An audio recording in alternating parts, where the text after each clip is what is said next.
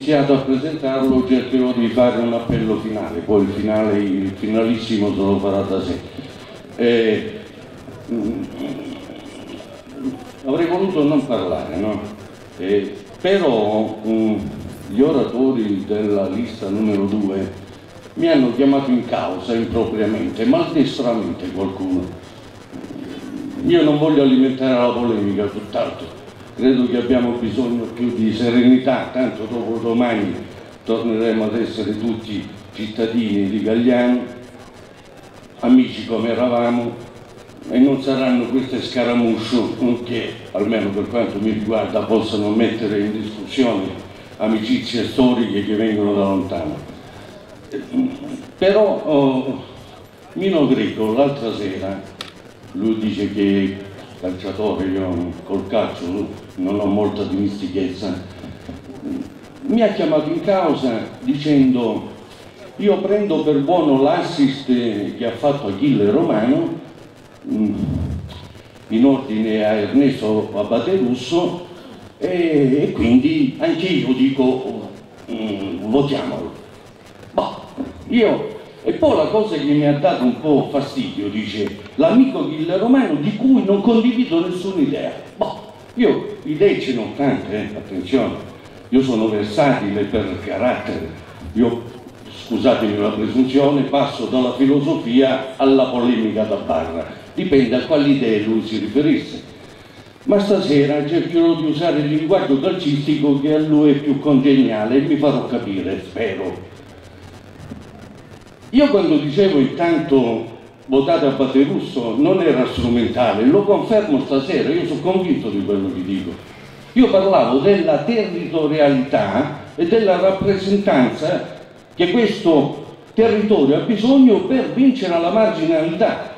E mi riferivo non certamente a lui, lui che fa parte della nomenclatura del partito, lui che fa parte dell'apparato, del cominterne, perché qualche volta mi danno l'impressione che qui siano rimasti al Partito Comunista ante Berlinguer. Non si saranno accorti che il partito ormai è democristiano. Il partito è renziano. I comunisti o i, i pronipoti, ipodromi del Partito Comunista rischiano lo sfratto in casa. E Civati già è andato via, sta per andare via Fassina, di qui a poco andrà via da Torre, probabilmente da Lema, e tutta la vecchia guardia. Non si parla più di partito o, o PD, si parla di partito della nazione, signori miei. Io, io mi riferisco ai giovani del PD, che gli voglio un bene dell'anima, perché a parte che sono amici dei miei figli, ma poi sono brave persone, persone che si impegnano, hanno un piglio esagerato, a volte li vedi proprio con una passione che non ha limiti. Io mi rivolgo a voi, state attenti, state pensando a un totem, a un partito che non c'è più. Oggi la sociologia parla di fluidità della società, partiti fluidi. Noi viviamo un momento di stravolgimento epocale, guai a pensare al partito, allo statuto, alle regole, ai traditori, chi se ne va. Fate lo stesso errore di Berlusconi, usate la stessa terminologia. Berlusconi chiama traditori tutti i delfini che ha fatto fuori, chiama traditore Alfano, traditore Fitto. Stiamo attenti ad usare questi atteggiamenti da um, tribunale inquisitorio. Siete fuori dal mondo se ragionate così. E quando io dico la metafora calcistica, Beh, eh, si è anche invocato alla coerenza, alla co ma come si può essere coerenti? A sinistra è facile essere coerenti, se un partito nell'arco di dieci anni ha mutato geneticamente non solo eh, l'intitolazione, ma la natura del partito, da PC, PD, DS, PDS, PD e così via. Si è cambiati rimanendo immutati. Questo è la, il paradosso de, del partito della sinistra. Ma per tornare alla metafora, dico io, no? Io non ho dato nessun assist, amico mio, anche perché non te la prendere, io pensavo che non fossi manco in lista. Eh, io, ero rimasto a quando giustamente tu avevi ceduto il passo perché doveva entrare qualche Maradona dall'alto, dall'alto, e tu ti eri messo giustamente in panchina. In panchina, caro Antonio Biasco, io ti voglio bene e lo sai, e pure tu a me. In quel contesto, per onestà intellettuale, tu non stavi manco in panchina, se ti avessero, se tu avessi chiesto qualcosa, ti avrebbero dato il ruolo di raccattavalle, minimo. Eppure tu sei un fuori classe, attenzione, io ti considero un fuori classe. Tu sei uno che ha la scena politica di Gagliano, è da 30 anni che stai sulla scena politica, un po' come me, io più a intermittenza a dire la verità, ma tu sei stato più costante di me. E sei bravo, io ti riconosco, e sei una persona onesta, una persona per bene. Ma andare a vedere tutta questa coerenza, vi siete incartati come al solito, a sinistra Gagliano ha questo difetto, si incarta, è capace di incartarsi e poi dà le colpe agli altri. E vengo all'altro oratore che mi ha chiamato incautamente in causa. E mi rivolgo all'amico Marino Mercati che ha voluto sottolineare con un cinismo a volte anche un po' cattivello quando dice nel 1900 ti lascerò lo spazio eh, nel 1980 eh, pardon, 2005 si fa una lista civica di cui i promotori erano Achille Romano e c'ero, c'eri tu, poi cita Luigi Colasi, ma c'era pure lui.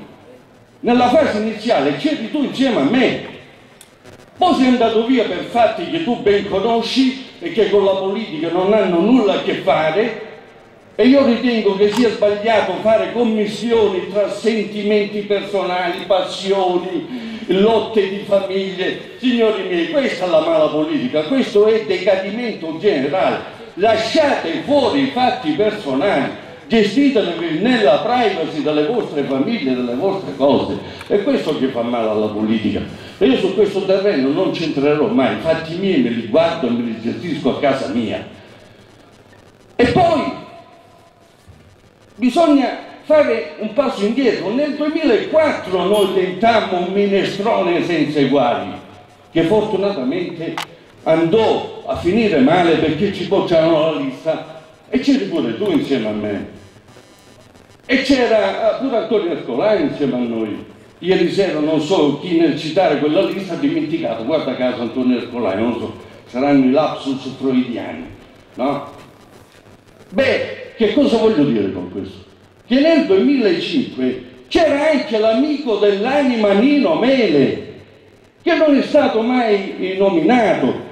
Mino Greco, quando fa l'analisi supponente e liquidatoria nel giro di due secondi, dice tutti i dieci anni, c'era anche tuo zio che ha fatto parte più di me di quella amministrazione, è stato cinque anni assessore, io sono due anni e mezzo per mia scelta. E allora in questo scenario metaforico, no? calcistico, uno era il ruolo ingiusto di raccattapalle, l'altro è centravanti di sfondamento ma fanno autogollo sull'assist di un avversario politico. E tu dici allora che ruolo hai in tutto questo? Io so anche fare il tifoso esterno. Io se avessi voluto fare il protagonista gli amici di 5 Stelle mi hanno proposto candidato sindaco l'anno scorso, ho ringraziato. Io ho votato una volta 5 Stelle e non lo voto più. E non lo voto più per ragioni serie.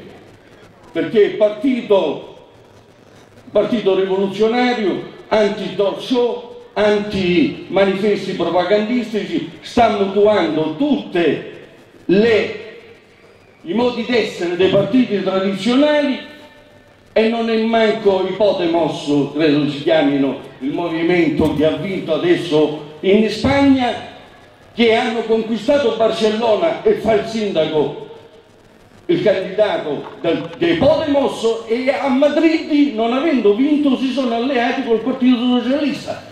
Qui i 5 Stelle non possono sperare di prendere il 51%, non lo prenderanno mai.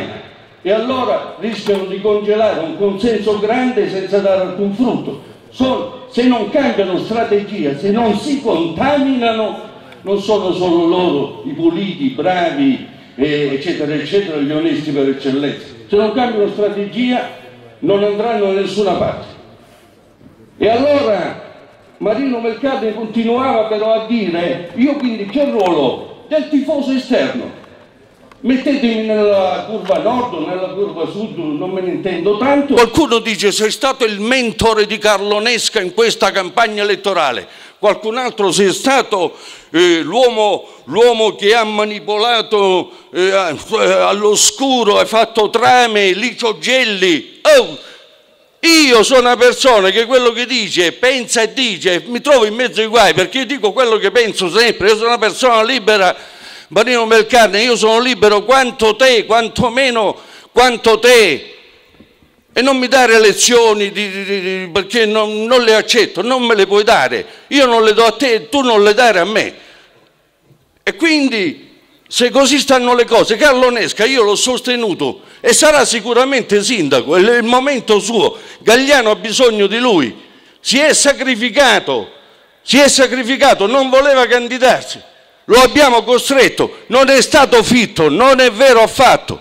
Fitto ha tentato, lo ha chiamato due volte, ha desistito, non ce l'ha fatta più. Quando ha accettato, semmai ha chiamato me, ha chiamato Antonio Buccarello, dice come mai questo miracolo? È successo. Gagliano ha bisogno di Carlonesca. Carlonesca è una persona seria, una persona onesta, competente. Avrà i suoi problemi.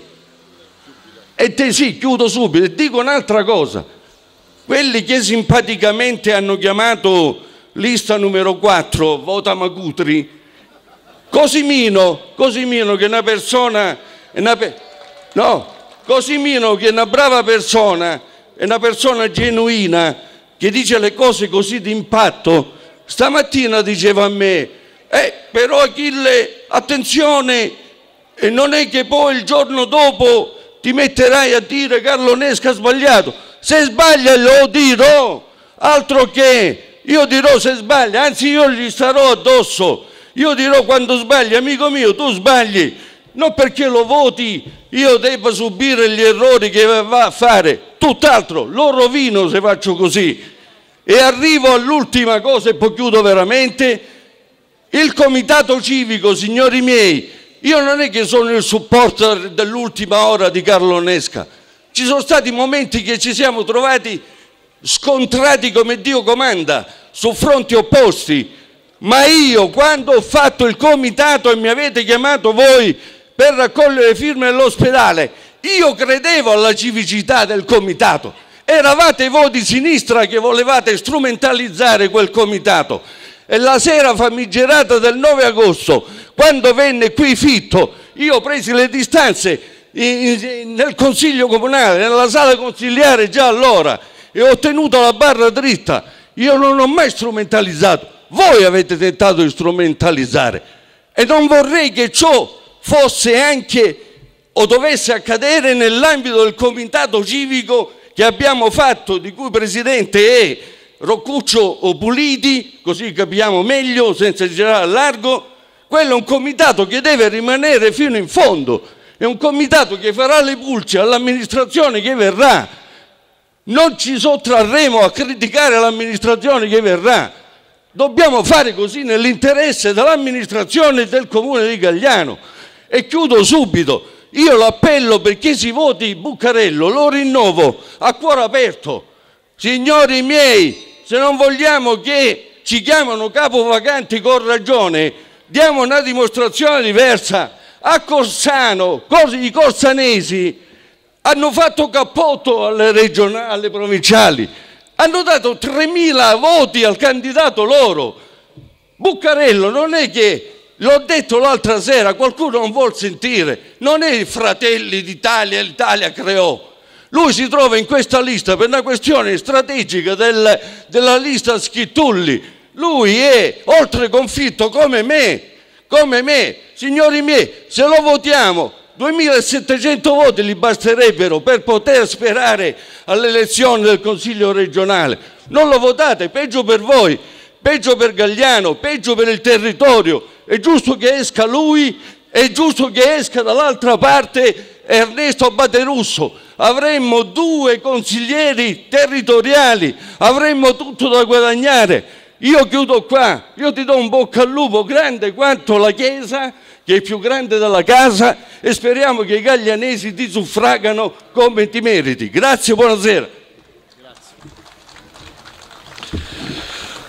Grazie Achille, mi risulta anche un po' difficile dopo l'appassionato appello intervenire e cercare di dare di contenuti il tempo che mi rimane per, per l'appello eh, a questa mia candidatura al Consiglio regionale.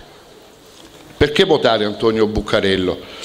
Non è sufficiente Achille dire e di Gagliano è importante per il territorio e, cre e credo di averlo detto in modo esplicito che questo territorio ha bisogno di una voce per uscire da una condizione di marginalizzazione e di periferia in cui è stato sistematicamente cacciato.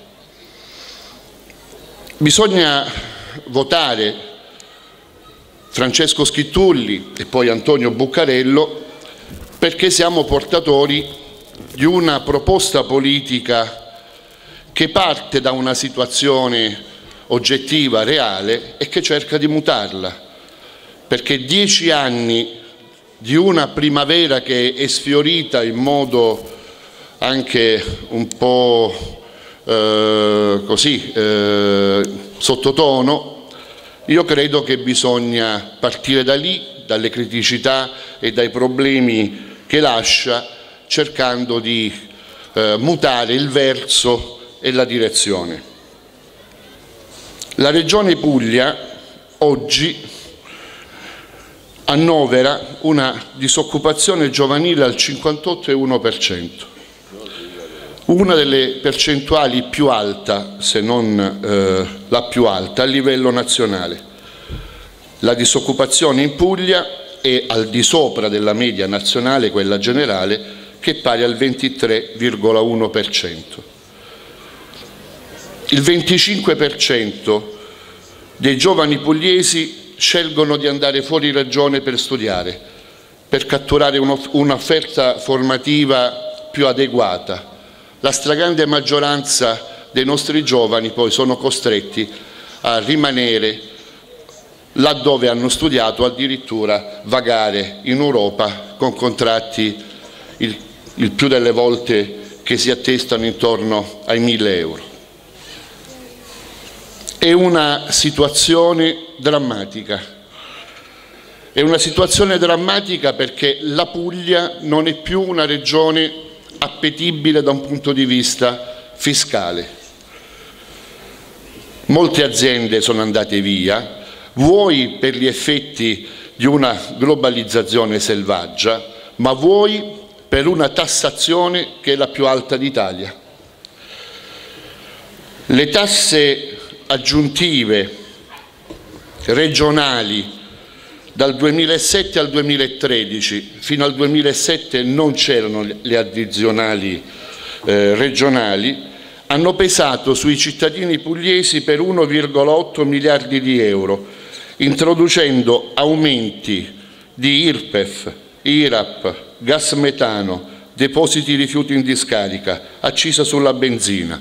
E in più, in barba a tutte le promesse elettorali, furono introdotta la tassa di un euro per ricetta farmaceutica e di 10 euro per ricetta specialistica. E qui veniamo all'altra all nota dolente del problema regione. Lo dicevo sere fa, chi sbaglia sulla sanità compromette l'azione governativa di una regione.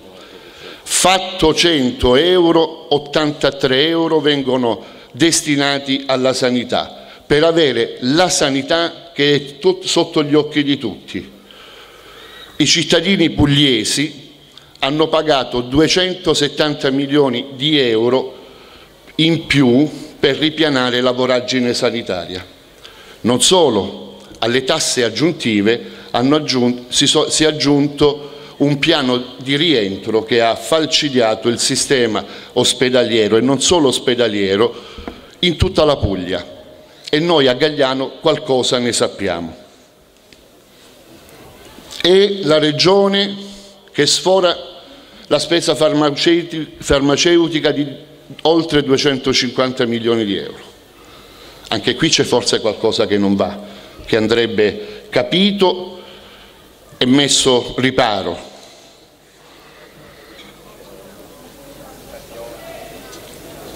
Sulla sanità se ne sono dette di cotte e di crude, però intanto, intanto sono dati del 2013, nel 2013 i leccesi che hanno scelto di curarsi fuori provincia sono 11.601.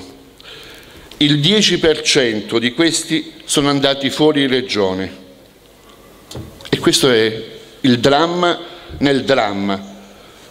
Cioè noi paghiamo un sistema sanitario che non dà risposte perché nel momento critico siamo costretti, ripeto, a fare il trolley e ad andare o fuori provincia quando ci va bene o fuori regione. Un sistema non competitivo, non all'altezza della situazione, non all'altezza di un, di, di un paese civile e moderno. E bisogna intervenire in questo settore, è inutile prendersi in giro. La prima questione deve essere questa e non mi pare che Emiliano abbia avuto un approccio eh, serio sulla questione, perché la prima cosa che ha detto due o tre mesi fa è stata questa.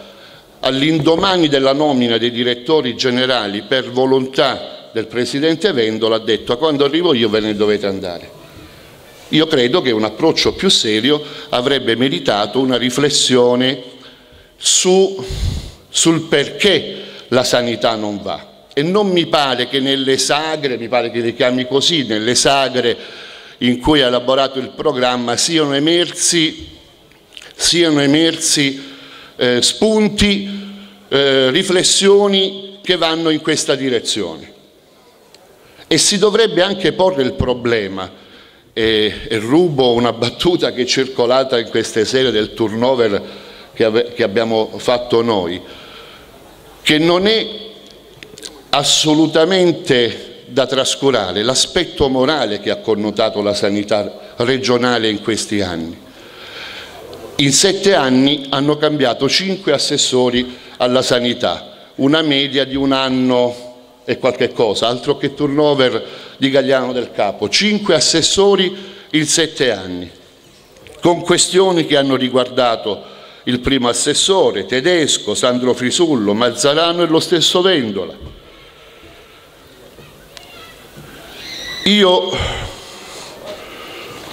ho condotto una battaglia e mi avvio a questa conclusione, poi riprenderemo per quello che è possibile altri spunti programmatici, che mi ha assorbito in tutti i dieci anni. In chiusura di questo intervento vi leggerò la lettera aperta che feci l'8 aprile del 2014 sui quotidiani indirizzata al Presidente Vendola, caro Marino Melcarne. Altri spunti.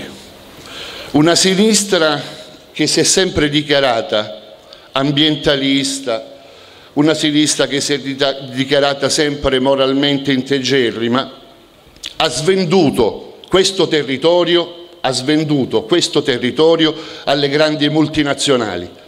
TAP e Trivelle ne sono la reale dimostrazione di un qualcosa che pregiudica oltremodo questo territorio e lo pregiudica sull'altare di interessi delle grandi multinazionali, dei poteri forti, che non sono ad appannaggio del centrodestra. Oggi sono organicamente inseriti e strutturati nella gestione della sinistra tanto a livello romano quanto a livello barese. E in questi giorni i grandi poteri forti dell'economia pugliese sono saliti nella stragrande maggioranza dei casi sul carro di Michele Emiliano, perché è presumibilmente vincitore. E questo dovrebbe farvi preoccupare perché le conseguenze che i cittadini e i territori pagano sono il TAP, ma sono per quanto ci riguarda le trivelle a poche miglia dalla nostra costa. Un'azione di rigore, oltre che morale anche economico. Non possiamo mantenere baracconi come i consorsi di bonifica che ci costano 25 milioni l'anno di euro e nonostante questa spesa hanno lì consolidato centinaia di milioni di euro che non si sa chi pagherà e quando si pagheranno. Non si possono mantenere tutte le agenzie che ci costano una barca di soldi, si potrebbero tranquillamente mantenere l'ARPA e l'ARES, liquidare tutto quell'altro mondo che c'è intorno perché andremmo a risparmiare altri 40 milioni di euro, cara Achille. I conti si fanno con le mani e si fanno anche con una penna, ma soprattutto ci devi mettere la volontà. Basta con la cultura, con l'altra sprecopoli, e, lo, e mi rivolgo a Massimo Ferzini, con la sprecopoli della Puglia Film Commission, del Bifest, di Puglia Sound, di tutti i portali che sono stati aperti quest'anno e che dopo 15 giorni sono morti. Hanno drenato milioni di euro, milioni di euro per fare spot per osannare il leader, che in questo caso era Nichi Vendola. Una cultura dell'immagine esasperata che non ha portato alcun beneficio, perché la Puglia, se oggi è il Salento in modo particolare, se oggi è al centro dell'attenzione delle dinamiche turistiche, degli interessi turistici, è perché è bella di suo, e non perché abbiamo fatto gli spot grazie a Silvia Godelli. Andate e approfondite la gestione di questi baracconi per capire lo sfascio che c'è stato in questi anni.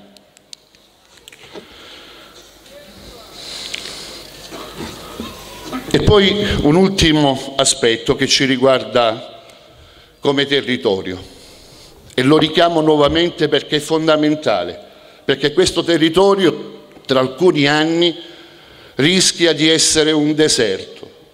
Non si può, cari concittadini, ai primi sentori della più grave, della più grave malattia che ha investito i nostri oliveti, che si è manifestata in quel di Gallipoli nel 2011, arrivare a pochi mesi fa per nominare un commissario straordinario e non mettere assolutamente un centesimo per affrontare in modo organico, serio e strutturale questa epidemia.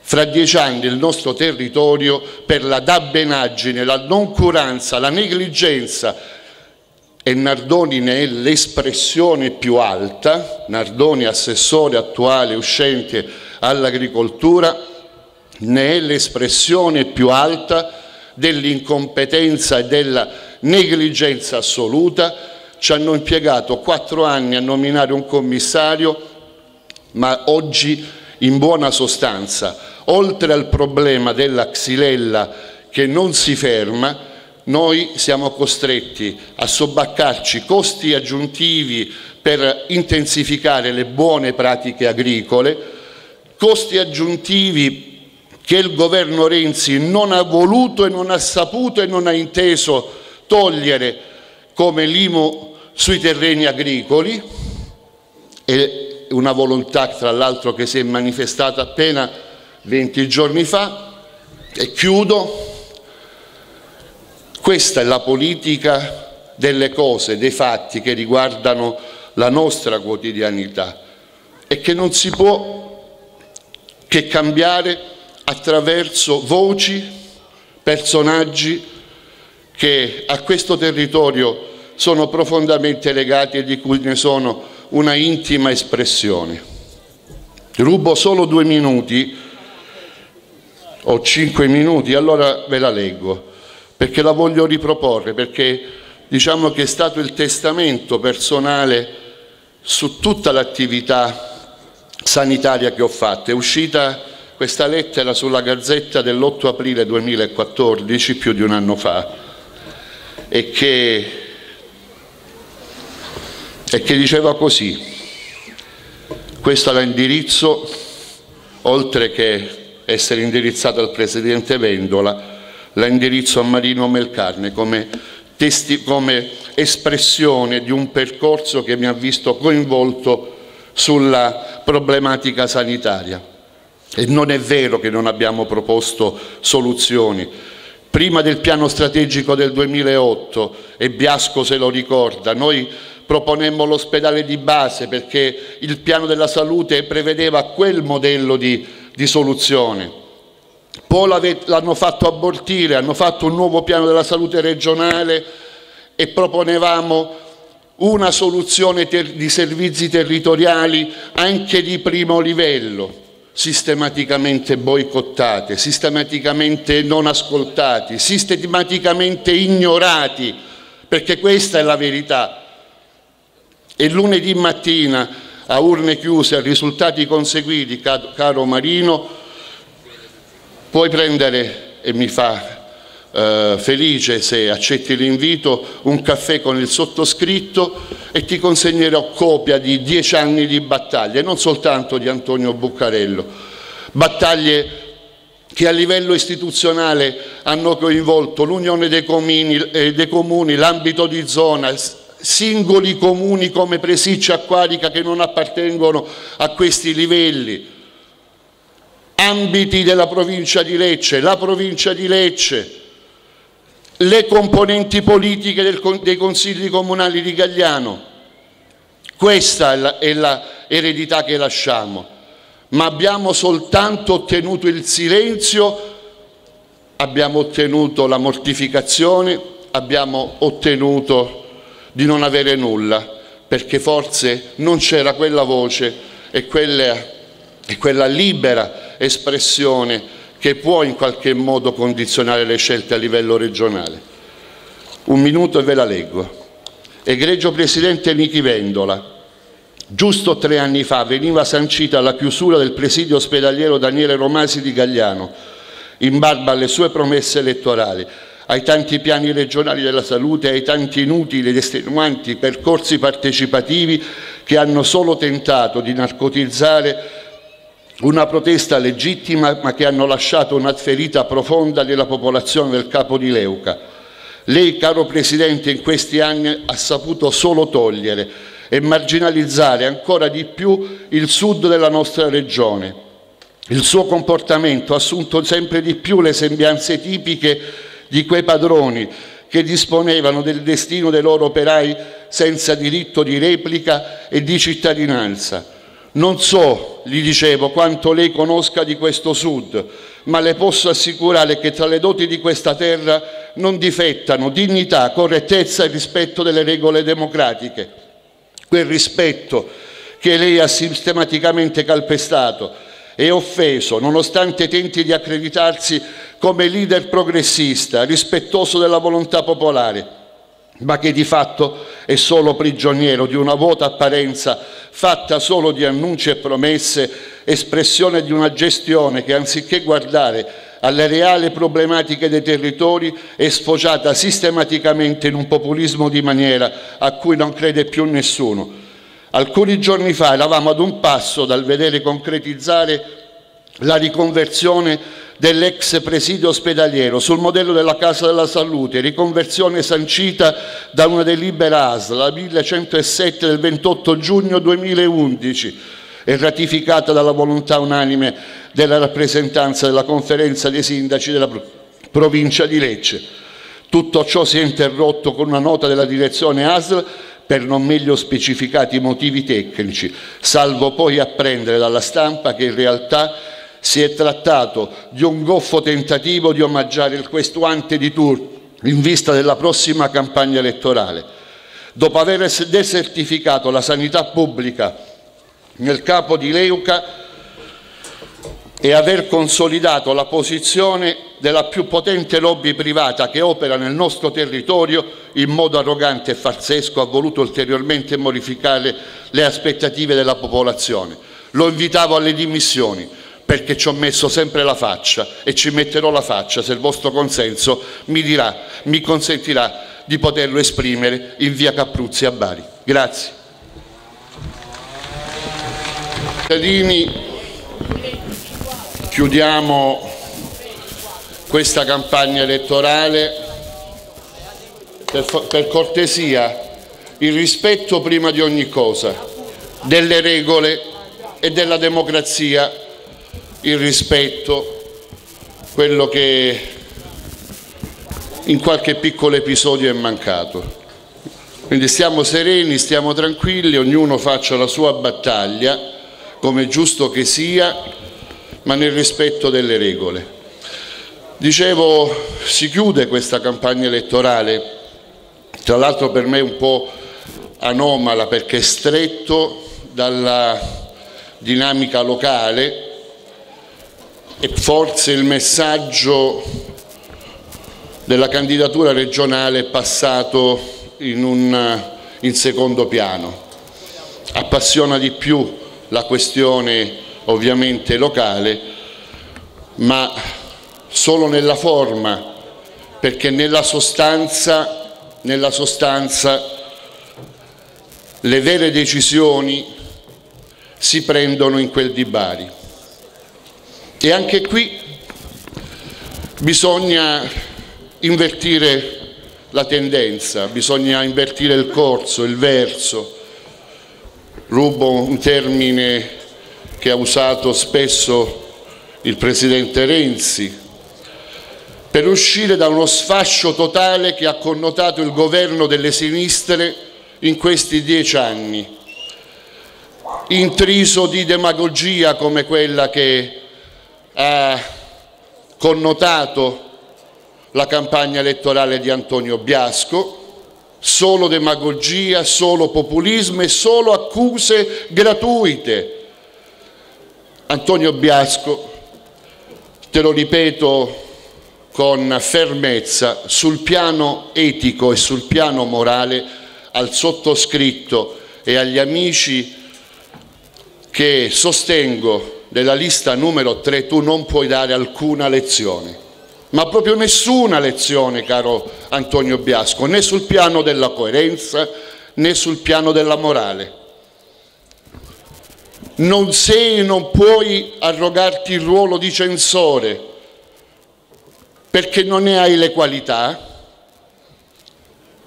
e dovresti portare più rispetto perché per raccattare qualche voto nella tua mente, perché la gente sa valutare, ti lasci andare a sproloqui e accuse infamanti. Non lo merita la mia persona, non lo meritano le persone che mi sono state accanto, non lo merita Gagliano. Gagliano merita questo sì, una politica più pulita, un linguaggio più urbano, delle menti veramente libere e la tua non lo è. Capisco la difficoltà tua questa, che hai avuto in questa campagna elettorale di accreditarti e di legittimarti, ma tu sei nato con un peccato originale tu sei figlio di volontà che non ti appartengono e dovevi dirlo ai concittadini e hai taciuto, hai tentato soltanto di buttare fango per nascondere questo peccato originale che non ti può assolutamente essere assolto perché è figlio di retropensieri, di riserve mentali e di un populismo, se mi consenti, anche becero. Altro che non risposte. Le facciamo, facciamo una cosa, le facciamo da lunedì a campagna elettorale chiusa, affari spenti, al risultato conseguito e poi vedremo quante fandonie hai gettato sulla piazza tu e quante verità invece ci sono da questa parte. Hai parlato di programmi, hai parlato di sogni, un po' come i sogni di Vendola, della primavera vendoliana, che è sfiorita, è morta, sia sul piano politico sia sul piano dei risultati. Non se ne parla più di Vendola, eppure tu, fino all'altro giorno, lo hai sostenuto, adesso non so se appartiene a Vendola, se appartiene a Renzi, ma non mi appassionano queste ricerche e non intendo assolutamente scoprire dire, i tuoi percorsi, è una cosa che non mi riguarda. Io dico invece che da questa condizione di emarginazione di questa terra bisogna uscire e bisogna uscire dando voce a questa terra, ma dandola seriamente, cercando di andare al cuore dei problemi, cercando di dare delle soluzioni ai problemi, non con la demagogia, ma facendo riferimento a parametri ben precisi, alle risorse disponibili certe. I sogni vanno bene, danno slancio, mettono la mente nelle condizioni di generare comunque una prospettiva, di generare il futuro, però poi i sogni devono essere, devono diventare realtà e la bravura è lì, caro Biasco e caro Francesco dei 5 Stelle, non vi avevo mai ascoltati, vi ho, vi ho sentiti questa sera. Vedete, la democrazia è una cosa bellissima. Io sono innamorato non solo di Gagliano, ma di, del paese Italia, della mia nazione, perché solo attraverso tante lotte abbiamo avuto la democrazia e ognuno può esprimere liberamente il suo pensiero e ci mancherebbe altro, però il pensiero deve avere anche una sua dignità, la dignità della coerenza. Biasco mi accusa sul piano morale, qualcun altro mi accusa sul piano del disastro ambientale.